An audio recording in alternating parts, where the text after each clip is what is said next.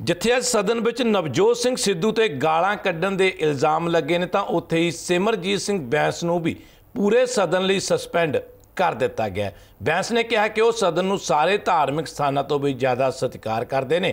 ਉਹਨਾਂ ਕੋਈ ਗਲਤ ਕੰਮ ਨਹੀਂ ਕੀਤਾ, ਪਰ ਸਰਕਾਰ ਬਹਿਸ ਕਰਨ ਤੋਂ ਭੱਜ ਰਹੀ ਹੈ। ਉਹਨਾਂ ਕਿਹਾ ਕਿ ਲੋਕਾਂ ਨੇ ਉਹਨਾਂ ਨੂੰ ਚੁਣ ਕੇ ਸਦਨ ਦੇ ਅੰਦਰ ਭੇਜਿਆ ਹੈ ਤੇ ਉਹ ਲੋਕਾਂ ਦੇ ਹੱਕ 'ਚ ਆਵਾਜ਼ ਉਠਾਉਂਦੇ ਰਹੇ ਹੈ ਤੇ ਉਠਾਉਂਦੇ ਰਹਿਣਗੇ। ਅੱਜ ਦੁਖਾਂਤ ਹੈ ਕਿ ਉਹ ਪਵਿੱਤਰ ਸਦਨ, ਉਹ ਪਵਿੱਤਰ ਮੈਂ ਤਾਂ ਮੰਦਿਰ ਗੁਰਦੁਆਰੇ ਤੋਂ ਵੀ ਵੱਧ ਪਵਿੱਤਰ ਕਵਾਂਗਾ, ਜਿੱਥੇ ਸੰਗਤ ਦੀਆਂ, ਲੋਕਾਂ ਦੀਆਂ, ਪੰਜਾਬ ਦੇ ਆਵਾਮ ਦੀਆਂ ਦੁੱਖ ਤਕਲੀਫਾਂ ਨੁਮਾਇੰਦਿਆਂ ਨੇ ਲਿਆ ਕੇ ਸ਼ੇਅਰ ਕਰਨੀਆਂ ਤੇ ਸਾਡੇ ਵੱਲੋਂ ਅਸੀਂ ਇੱਕ adjournment motion on sand mafia, ਰੇਤ ਮਾਫੀਆ ਦੇ ਉੱਤੇ ਜਿਹੜਾ ਰਾਣਾ ਗੁਰਜੀਤ ਜੀ ਦੇ ਕਰਿੰਦਿਆਂ ਨੇ ਕਰੋੜਾਂ ਰੁਪਈਆ।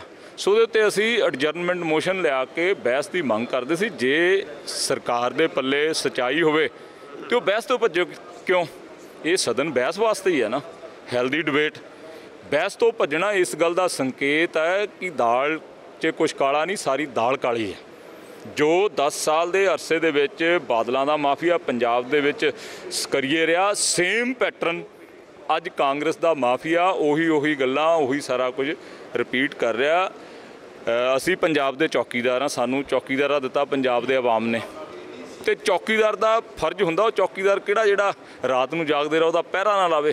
ਸੋ ਸਾਡਾ ਕੰਮ ਪਹਿਰੇਦਾਰੀ ਕਰਨਾ, ਜਿੱਥੇ ਲੀਕੇਜ ਹੋਏਗੀ, ਬੇਈਮਾਨੀ ਹੋਏਗੀ ਕਰਪਸ਼ਨ ਹੋਏਗੀ, ਲੋਕਾਂ ਨਾਲ ਨਾਇਨਸਾਫੀ ਹੋਏਗੀ, ਉੱਥੇ ਅਸੀਂ ਲੋਕਾਂ ਦੇ ਵਾਚਮੈਨ ਬਣ ਕੇ ਇਸ ਪਵਿੱਤਰ ਸਦਨ ਦੇ ਅੰਦਰ ਪਹਿਲਾਂ ਵੀ ਆਵਾਜ਼ ਬੁਲੰਦ ਕੀਤੀ ਹੈ ਤੇ ਕਰਦੇ ਰਵਾਂਗੇ।